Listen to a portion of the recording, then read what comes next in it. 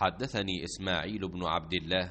قال حدثني ابن وهب عن يونس عن ابن شهاب قال حدثني عروة بن الزبير أن عائشة رضي الله عنها قالت لما استخلف أبو بكر الصديق قال لقد علم قومي أن حرفتي لم تكن تعجز عن مؤونة أهلي